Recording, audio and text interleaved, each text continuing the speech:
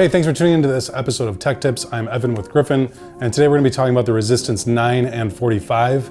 These are pistol specific fixed length silencers. They're my personal favorite because they are low cost, but they're also very high quality.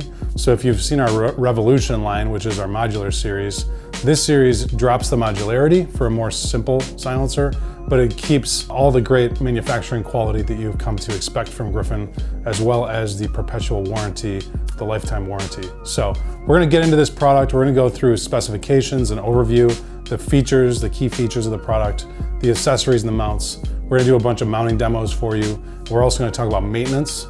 And so we got a lot to cover, uh, so stay tuned. Okay, specifications and overview. So the Resistance 9, which is in front of me, is a 1.375 inch diameter uh, pistol suppressor. That diameter is pretty optimal because it allows you to use non-suppressor height sights. Um, you don't need to have a red dot on your pistol. Um, you can kind of shoot with both eyes open and still hit targets. Um, so this is kind of the ideal diameter for a pistol suppressor in our opinion. Um, there are some wider ones. If you go to the 1.5 inch, um, you're gonna definitely need suppressor tall, uh, tall sights, and those may not even clear. And then you would also uh, potentially need a red dot sight on the pistol. So just something to keep in mind, diameter does matter. Um, I have the weight on the Res 9 at 8.5 ounces, so very lightweight silencer. These uh, suppressors have a 77.5 aluminum tube body, so an aircraft grade aluminum uh, uh, heat treated or hardened uh, T6 anodized hard coat tube body, so very durable tube body. Um, and then the baffles on them are, are EcoFlow baffles, so they're a low back pressure baffle. Um, they have interlocking features, and those are 17-4 stainless steel, and those are H900 heat treated. So you're getting a really high quality uh, silencer that's going to give you a lifetime of service life. Um, there are some silencers out there for pistols that have full aluminum construction. Um, I would be aware of that because you can't really do a lot with those silencers and they would wear out a lot faster. Um, so our company, we've decided to go this route with more quality. Um, to touch on some other features for the product, it is fully disassemblable, uh, so it is user serviceable. You can take the end cap off, pull the guts out of it. Um, there's a wrench that's included to take the rear cap off. So you can clean all of the components of the silencer, uh, which is really critical for pistol silencers because they do accumulate copper shavings and lead deposits uh, from shooting pistol ammo. Pistol ammo is just a little bit more dirty than rifle ammo. It's not super clean uh, because the pistol bullets do have exposed lead bases. Um, so it's, it's pretty common for pistol silencers to get pretty gunky, whereas rifle silencers don't as much. So uh, maintenance is required. Uh, make sure you're knocking that out. We'll touch more on that later. The Resistance 45 version, same diameter, of course, uh, 1375, but then it's gonna be a longer length. Instead of the 6.75 inch length of the Res 9, which is a really nice tight package, I think, the 45 version is a seven and three quarters, so it's a 7.75 inch length, and it gains an ounce and a half by being that extra length. So it's 10 ounces instead of eight and a half. Um, one thing to touch before we get to the unboxing is that the resistance silencers do not include a piston. So they are not shootable out of the box. You're going to need to purchase the attachment of your liking. Um, so we have three different versions at Griffin Armament. Most companies only have one. Uh, from left to right, we have the direct thread, standard, old school piston. Um, we do still make these, although we don't really recommend them. Um, then we also have the CAM-LOK, the three lug interface, the quick attach, and then we have the EZ-LOK piston. So you're gonna need to get one of those pistons and decide on those. Uh, we'll put links to those videos below so you can check out those different mounting systems. Um, my personal favorite is the CAM-LOK. It's the fastest. Some people like the EZ-LOK, um, but pretty much by and large, no one that we show these other two systems to really are running the direct threads anymore. But if you're old school and that's what you want, then we still make those. Um, so that's pretty much the feature rundown uh, or, or in, ter in, terms of the specs. Sound performance stuff is listed on our website, so definitely check that out. Go to griffinarmament.com, uh, look in the global search bar for resistance and pull up those product pages. There's details on nine millimeter, you know, 30 cal 22, stuff like that. Um, and we are doing a sound testing video for these silencers in the future, so that we will also try to hyperlink below. So next we're gonna go into the unboxing on the Resistance 45. So I've got a Resistance 45 in front of me. Um, it's of course in attractive packaging as you would expect from Griffin. Uh, we're gonna crack that open. There's a little bit of a touch on the warranty, uh, the story of the company on the side there. Um, so it is, the product is very well protected in this box with um, its enclosed foam. There's a pretty cool little artwork poster in here, uh, throwback to a uh, Vogue style cover for a uh, French chick uh, doing some resistance modeling for you. For you. So that's kind of neat. Um, there's also a manual. There's also a quality assurance card. We do test fire all the silencers from Griffin Armament to make sure that you're not gonna have any problems with them.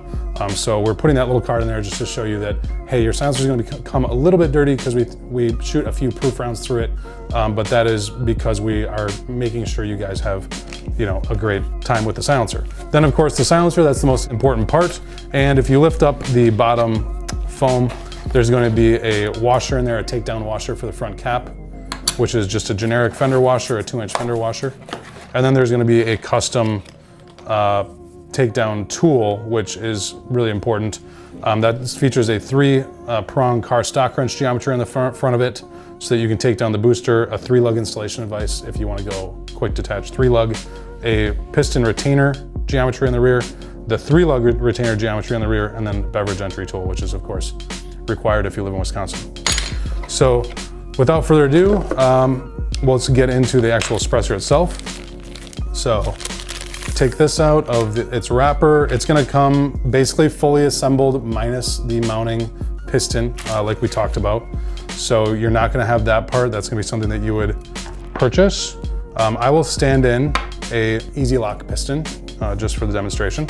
So out of the box, you're going to want to take your wrench here, put the retainer geometry on there, break that loose by hand, or with the wrench, then take it out by hand. And out comes your Nielsen device or your spring decoupler. Okay, this is required to get your pistol to run in semi-automatic mode the way it was designed if you have a tilt barrel pistol like a Glock, like a 1911, stuff like that. Um, if you're gonna be putting this silencer on a fixed barrel firearm, like a subgun 9mm or a hunting rifle, a bolt action rifle, or something like that, you would need to delete this spring uh, or, or the suppressor could become damaged. So the spring system is only for pistols, okay? Again, take your wrench, interface that with the retainer, take that out by hand. Now you're going to expose the spring so you have this three-piece system here in front of you. Um, like I said, uh, you need the spring system for the pistols, but not the rifles. So we're setting up for a pistol right now, um, which is going to include the use of a piston. I'm using the EZ-LOK piston. So you take the spring, put it over the piston, drop that into the retainer, and then uh, I like to put the retainer on the back, and because of that O-ring there, um, I like to take the fender washer, put it on top, and then push down to snap it over the top and then start screwing this down by hand and then finish it up with the wrench. You're gonna wanna be kind of careful with the wrench because you don't wanna scratch, scratch your aluminum part. So just kind of be careful with that as you get it in there. Okay, now this is reassembled, it's ready to go into the pistol. So from here, we're just gonna thread it into the rear of the body. And using that three prong car stock wrench geometry on our wrench. We're gonna interface the silencer there and just snug it up. Okay, and now we can put it on our gun. So this is EZ-LOK. I'm gonna go through all the mounting stuff later with you guys. So it's ready to shoot. And as you can see, when I pull these apart, that actually uh, springs, it kind of, and that's that's what we're talking about with that spring, is that when you shoot it, the silencer actually springs forward and allows the pistol to unlock, which you need. Um, so that's set up, ready to go. I'm gonna show you guys now how the baffles come out. So you would take the uh, washer, the fender washer, put it in the end cap here, and then just kind of break that loose. Then you should be able to take it out with your fingers pretty easily. Now there is going to be uh, some ST3 on your end cap there. That's to just kind of provide some resistance to loosening. We do that at the factory. Um, you can also buy that. I'll talk about that again in the maintenance area. So then I'll take this rear uh, booster piston housing out again. So this is uh, just again showing you how this suppressor explodes. We'll get into maintenance a little bit later. Then you're just going to push the baffle stack out and it, Comes out pretty easily when it's relatively clean. Um, you know, if you need to do it, uh, again, in maintenance section, which we'll talk about later, you can use a, a wooden dowel or something like that and a hammer to tap it out. Uh, but these come out really easily. This is a 17-4 stainless steel stack. Um, the baffles are interlocked like we talked about. Uh, there is one blast baffle and that is the baffle at the, at the top of the stack. Um, that does not feature the same geometry as all the other ones. So it doesn't, it doesn't have this little notch geometry in it on the top of it. So there it is, there's your baffle assembly.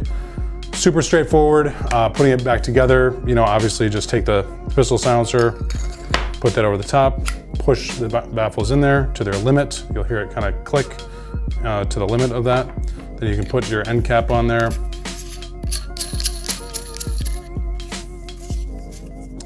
Snug that up. And throw whatever accessory you want to mount in there in the rear. And again, we're set up for the EZ-LOK, so that's what I'm doing. So that's a quick uh, assembly, disassembly, initial configuration for your pistol, which is usually what people are buying these silencers for.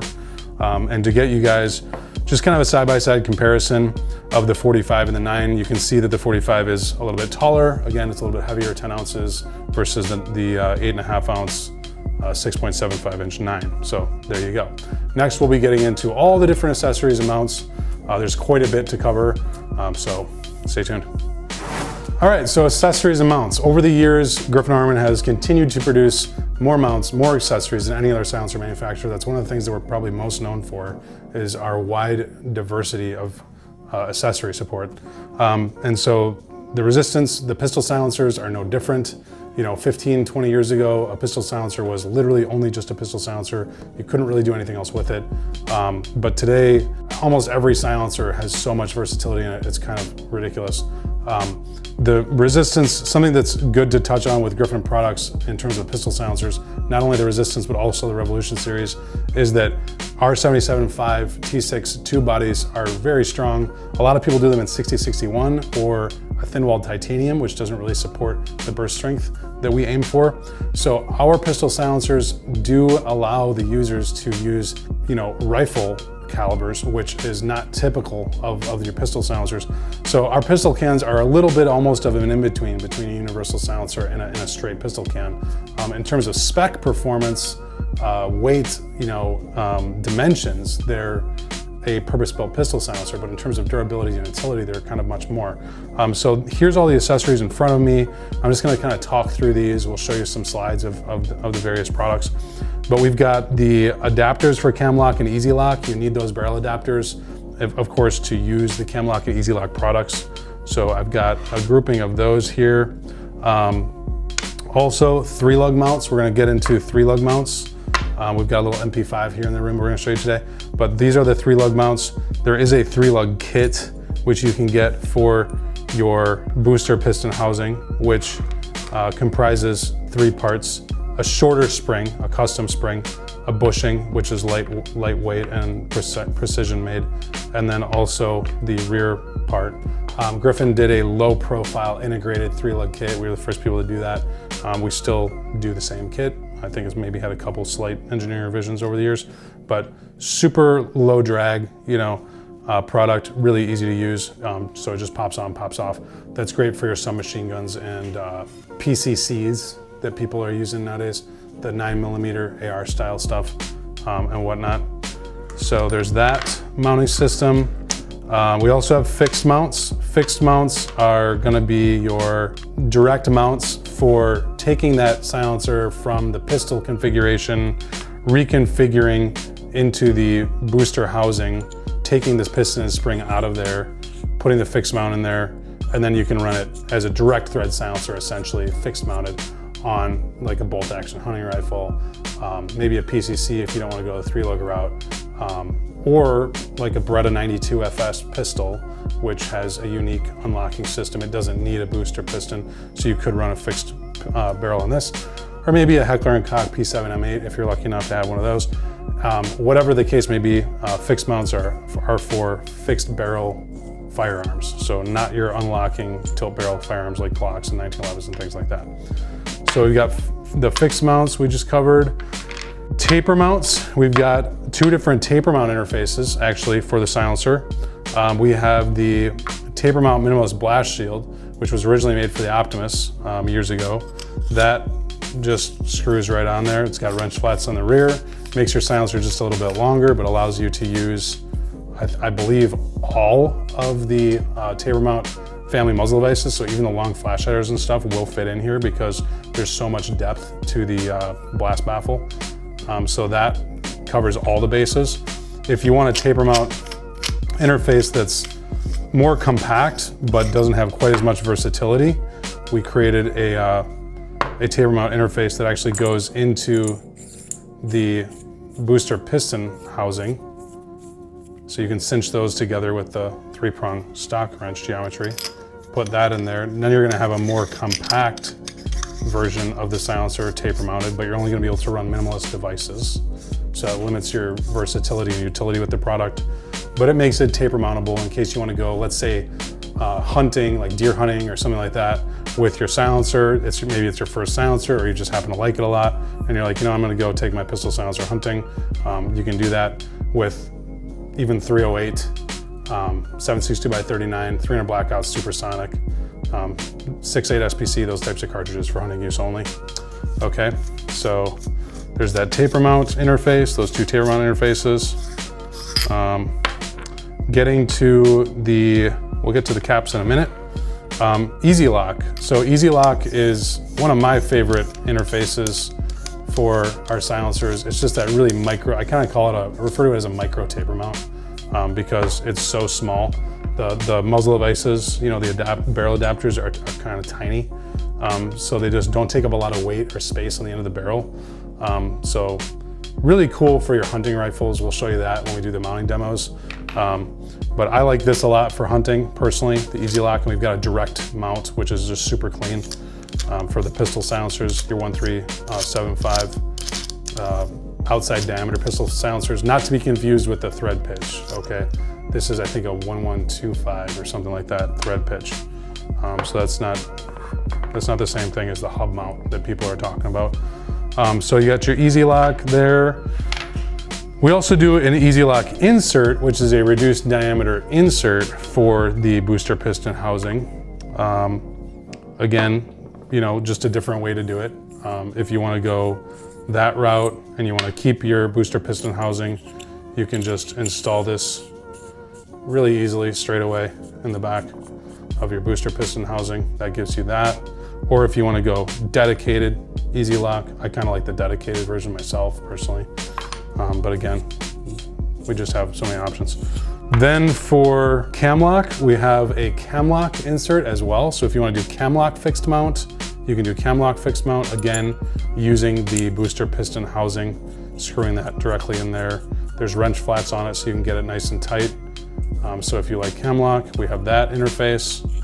Um, a2, okay, you can, you can use these silencers, like I'm saying, on the rifle calibers for hunting use only, air quotes. Okay, so that's like a max of, you know, usually we say 10 rounds uh, before you allow the silencer to cool to room temperature. We don't want to overheat the aluminum tube. It's extremely strong, when it's at low temperature, but we want to keep it at low temperature. So that's why the rifle ratings are for hunting use or sporting use only. You know, it's not, these are not dedicated rifle silencers. You're not going to run them like you would, you know, a welded full stainless steel silencer. Um, but we do have an A2 mount uh, for the, uh, originally developed for the Optimus, but because these suppressors are so strong, it's, it's, a, it's totally okay and kosher to use them on the pistol silencers. So that's that, and we'll show you kind of how that mounts up here in a minute. Um, but that'll get on your you know, M16s. Let's say you want to go deer hunting with an M16 or, or AR-15, whatever. Um, that's how you can do it. So just another option for you. And lastly, we just recently made um, a DUAL-LOK mounting interface for the pistol silencers. So we have that now. Uh, we, we only have support for the DUAL-LOK for pistol silencers in the, um, I mean, for, in terms of pistol calibers specifically, in the minimalist flash hider. So if you're wanting to DUAL-LOK mount this silencer um, to like a 9mm PCC or a 45 ACP carbine, something like that, you're gonna need to go with the minimalist flash hider because that's the only uh, style that we're gonna be supporting in the pistol calibers. But if you wanna use DUAL-LOK with this and run it on 223, 30 cal, then obviously we have that whole array of uh, muzzle devices to support the DUAL-LOK. But this has the pistol, um, this has the pistol thread on it. Um, this does go into the, uh, I'm sorry, directly into the tube body itself. So just screw that right in there. There's spanner wrenches, uh, spanner notches on the device itself too, so you can uh, hook a spanner on this and tighten that down, or you can just kind of tighten it down by hand, uh, whatever. Uh, we'd recommend some torque though. And now you have a DUAL-LOK mountable uh, pistol silencer if you want to go that route. So uh, there's so much opportunity with the silencers. It's kind of mind blowing. Um, just depends on what what is your fancy. You know, I, we go to events all the time. I just got back from one um, last week, you know, and talked to some people there. And you know, some people like the keep it super simple taper mount stuff. Some people like the more G-Wiz, you know, DUAL-LOK uh, mounting system that you know, mechanical locking stuff gives people more of a sense of security. Um, some people are traditional guys. They don't want their mounting devices to be so huge. So they, you know, I, I tend to push them to EZ-LOK because that's what I would use on a hunting rifle. So there's just so much here. It's kind of ridiculous. Um, but that's why get on griffinarmor.com, do some reading, check out videos obviously like this and others um, to make determinations on how you want to set up your resistance silencers. Okay, lastly for accessories, different end caps. All right, there's a lot of conversations on end caps. So the end cap that comes with your resistance silencers is obviously this fender washer compatible version. Okay, in my opinion, this is kind of all you need. Um, that's why we put it with the product. However, we do have uh, flash hider specific end caps. So if you're a guy that does some night hunting maybe with your pistol silencer, which I have done and I have used these end caps for that with night vision. Um, these actually do help on killing flash. They also allow for a socket for a wipe. So if you wanna make, uh, if you're an SO2, SOT, I guess, uh, license holder and you wanna make wipes, you can do that, put those in there. Um, this is a really easy end cap to get, to get off as well because of the four prong. So you can use the standard fender washer that comes with it or a little screwdriver, or something like that to install these. Um, but that's an option. We make those in both 9mm and 45. Also, some people want to put the Optimus uh, stainless steel end cap uh, in the pistol silencers just because they like the stainless steel. They, you know, they think it's more robust, um, which it technically is. It's a, a higher quality material. Um, so you could use those if you want. Um, those are available accessories on our website. We make uh, the Revolution end caps in 45, 9, and 22. We make the Flash end caps in 45 and 9 millimeter, and we make the Optimus end caps in 9 millimeter and 22. So you can use uh, the Optimus end caps if you want to with its little uh, two-part locking ring system. Um, so there you have it for end caps. Next, we're gonna get into mounting demos. So we're gonna actually show you guys how this stuff kind of works. All right, so mounting demos. Uh, first up is a standard direct thread piston, which we still do make. I kind of consider them a legacy uh, technology because they break loose when you're shooting a pistol and they are more likely, much more likely to cause baffle strikes. They also just take a while to attach, um, but there's still an option. So this is a little Glock 43 with a direct thread mounted piston. So that's number one. Okay, so next up is CAM-LOK. This is my personal favorite. It has a three lug quick mount adapter on there, and then you use the CAM-LOK piston, obviously, inside the silencer. Just like that, it's on. Um, super easy and fast to put on the firearm. There's also a lead taper on the front and a taper inside the piston, which allows for mounting security. Um, so you don't have to reach up and grab the, the pistol silencer every five rounds like you would a direct thread piston. You know, you can run this a couple magazines uh, without having to check the tightness all the time. Next up is gonna be the EZ-LOK piston interface. So this features a full circumferential thread. There's no three lug to the thread. So it's a little bit slower than the CAM-LOK, but still pretty quick. You can still get it on in just a few seconds. Um, as you can see, it also has the taper on the front of the adapter. So just like the CAM-LOK, it does allow for that you know, mechanism that you know, reduces vibration, keeps the pistol silencer attached to the pistol while you're firing.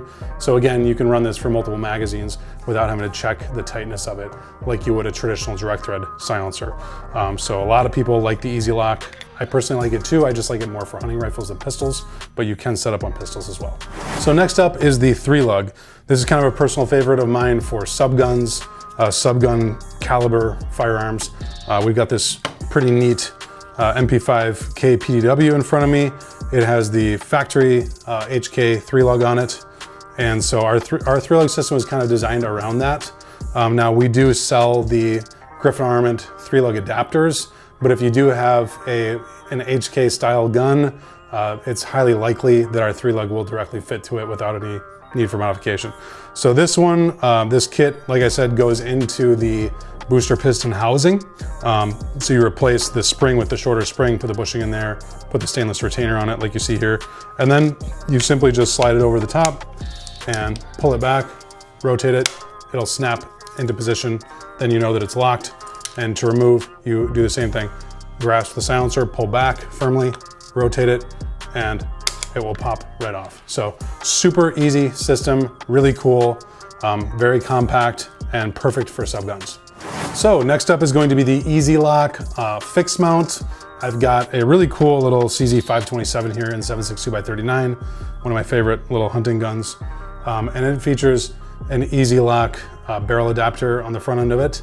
So this is, like I said, a mini taper mount. It has the taper on the front, and so you can put the, the direct mounted fixed mount EZ-LOK in the rear of the pistol silencer, uh, put it on there as such, screw it down, and once you feel that taper hit, it kind of squeezes up, nice, locks on, and there you have a super cool, like nice little tight package. This is perfect truck gun for doing some hunting on the ranch. And uh, this is just kind of my favorite way to set up these pistol silencers for hunting with these kind of compact hunting rigs. So there you have it. So next up is gonna be DUAL-LOK. I have a Angstadt Arms uh, PCC here, little nine millimeter uh, AR gun that takes Glock magazines, really cool. Um, just a neat gun. And so we've got, set it up with a little bit of Griffin kit on here. It also has the uh, half by 28 nine millimeter DUAL-LOK muzzle device on the front end, as you can see. So if you wanted to set up your resistance for this, you know, you just buy the DUAL-LOK uh, accessory mount, get that in there, you know, screw that in there, uh, unlock it, uh, you can also check out our DUAL-LOK mounting tutorial video for more information on that. Unlock it, screw it on, and then snap this mounting system shut. Make sure that the uh, collar of the mount is flush with the rear of the muzzle device, um, so it's flat, and then you know that it is locked, and so not going anywhere.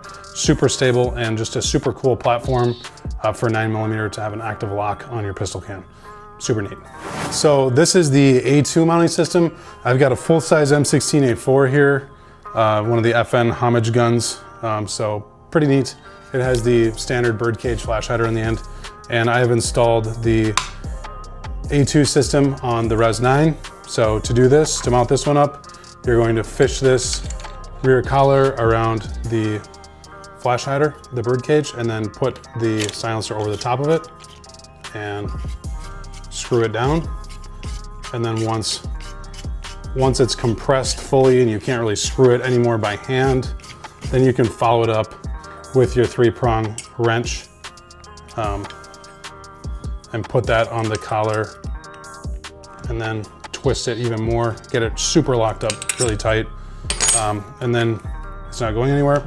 Now you have a cool sporting use only hunting rig or maybe shoot a couple varmints, shoot the woodchuck that's eating your back porch, etc. So another cool mounting system. So if you want to taper mount the Resistance 9 or the Resistance 45, you would take the uh, booster piston housing, screw that into the silencer. Uh, if you want to use the short taper mount minimalist flash hider, which is what I'm using, then you'd take our compact pistol specific taper mount interface, throw that in the rear of that, and then take your armorer's wrench, put your three prong geometry on the rear of that, cinch that up, okay? And now I have a kind of traditional full size looking um, AK with a taper mount minimalist flash hider. And you can just screw that on there. And again, Just, you'll feel it kind of squeeze up when it hits that taper. And now you have a pretty compact suppressor on an AK. Again, this would be sporting use only, 10 rounds, then allow it to cool. So, you know, this isn't a dedicated uh, rifle silencer, but it does give you that versatility to experiment with it, play around with it, use it on a bunch of your different firearms if you want to, figure out what you like shooting suppressed, what you don't like maybe shooting suppressed, and then potentially buy other suppressors or um, just, you know, configure this one and use it. So really nice compact uh, setup though, this rig, I like it a lot, so. And AKs actually do run, in our experience, AKs run pretty well out of the box without modifications necessary to the gas system. Um, so they're kind of a, a, joy of a platform to shoot. They're quieter to the ear, in my opinion, than an AR-15. Um, so just a lot kind of more fun, in my opinion, to shoot suppressed than an AR-15. Um, but that is how I would set up an AK if I was gonna use the Res 9 or 45 on an AK. Lastly, the extended uh, taper mount interface. So this would be the taper mount minimalist blast shield, okay? Um, this allows you to run any length taper mount uh, muzzle device that you would want on your pistol silencer. Um, so that just screws in like such. There's wrench flats on the back to cinch it down. Um, and that would just give you a little bit lower back pressure because it's a longer span. You're effectively making the blast chamber larger. Um, so lower back pressure with this one than the one I showed you previously. Um, I personally like the length of the other one a little bit better, but it's up to you, obviously, options. So there's that. We're going to go into maintenance now. So we're going to talk about maintenance on the silencer, you know, how frequently you, you should clean it, um, considerations, things that you should think about with maintenance. Okay, so we're going to talk about maintenance briefly. The Resistance series does come apart fully for cleaning, so I've already exploded that for you. I've got the rear booster housing, the uh, silencer tube body itself, which is empty, no surprises there, the 17-4 stainless steel baffle stack, and the end cap, I've also got a one inch brush and a one and a quarter inch, I believe, brush. We sell these brushes on our website. Um, I also have ST3, which is a liquid thread lock, uh, a liquid gasket compound, essentially. Um, if you notice, we put it on the end caps from the factory. It gives you just a little bit added security for the end cap working its way out, gives it that nice snug kind of gliding feeling as you're installing it, um, which is nice. So ST3 is cool. If you wanna use ST3, you basically apply a dab of it um, and then set it to the side, allow it to dry fully, um, which is I think only about an hour or two. Um, and then you can install it uh, into the thing. And it's essentially a, a, a, make your own gasket style compound, but we like it for various thread uses. Um, the other uh, little white dish I have here is the uh, Locksees 2020 that we resell on our website. You can buy a large bottle of this through an industrial place or you can buy a small quantity of this through us. Um, but it's a 2300 Fahrenheit rated uh, anti-seize compound essentially.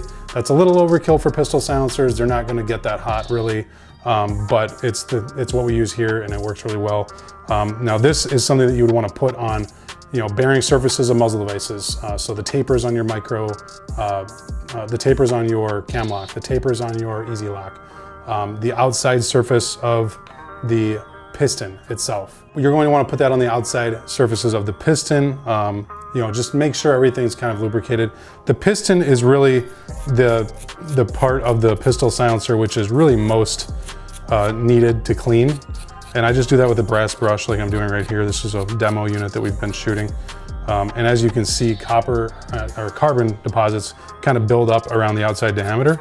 And what that does is it slows down the piston. It makes it more sluggish uh, and, and, essentially less reliable. The reliability of the piston degrades as the piston system gets dirty.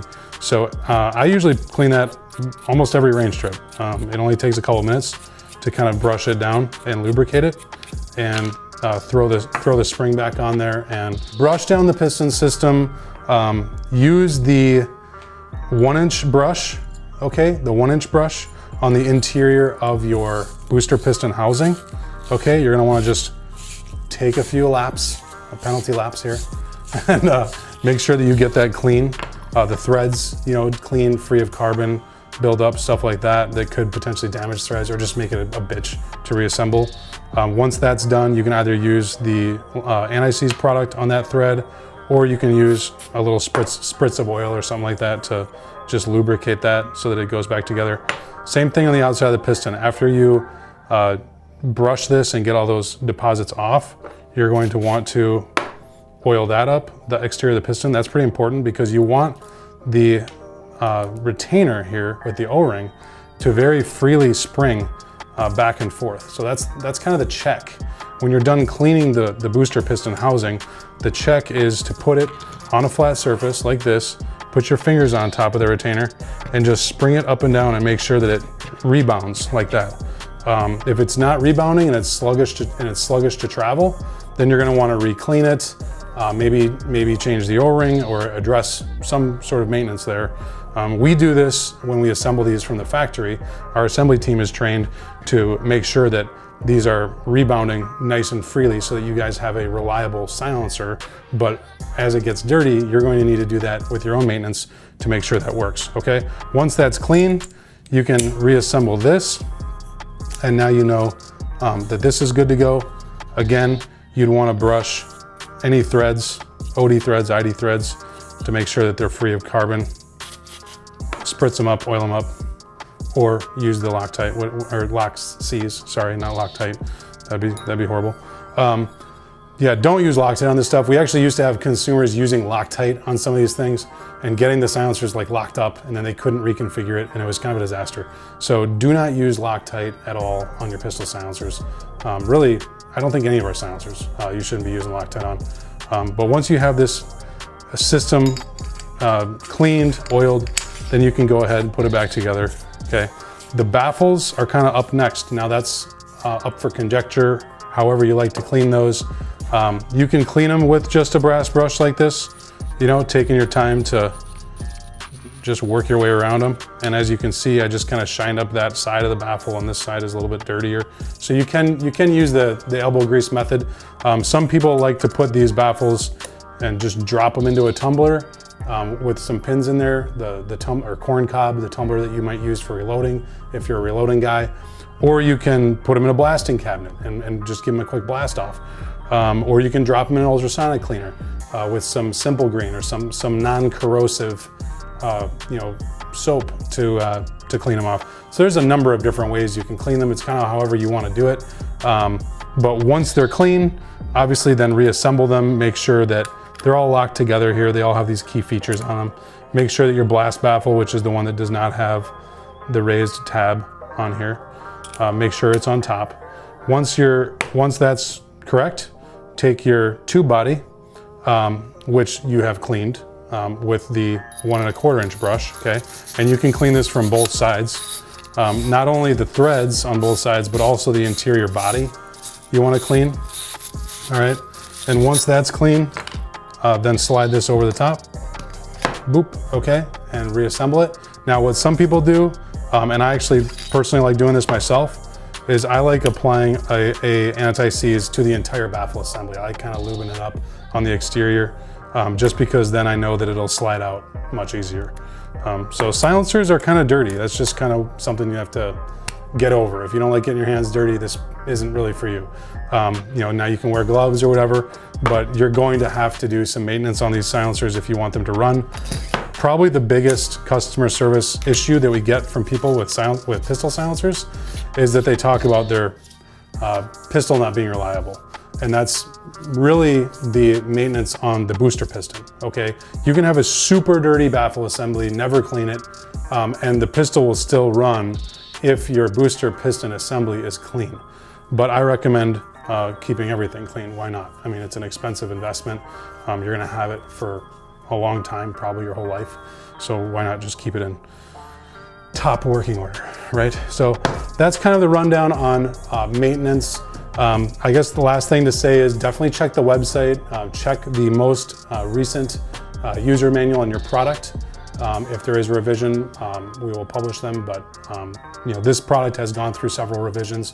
Uh, the Resistance series used to not carry quite the caliber uh, pallet that it does now in terms of durability, so we have beefed this up over the years. Make sure you know which generation you're dealing with in terms of your caliber ratings. Uh, it should be posted in your manual that was shipped with the product. But if you're unsure, definitely reach out to our customer service, ask them questions, they're here to help you. Um, we do pick up the phone and we do care about our customers. So I hope that is a exhaustive rundown on the Resistance 9 and 45. Uh, if you notice, these videos are pretty long. They're kind of intended for people who are uh, legitimately looking for uh, deep knowledge on the product because they're interested in potentially purchasing it or they have purchased it and they want to know the ins and outs of the product. Um, so I hope it helped out. If you uh, liked it, please uh, share it with a friend or something like that. And uh, you know, definitely check the website for all the accessory stuff. You know, there's way, really way too much to list in the description of the video, so you're gonna have to do some self-education on the product in terms of the different things that you wanna pair with it. Uh, but know that this product is also backed by our perpetual lifetime warranty, so if you ever have any issues with it, ever, um, we will service it for you and we'll get you back up and running. Hope you enjoyed the video and uh, safe shooting, see you next time.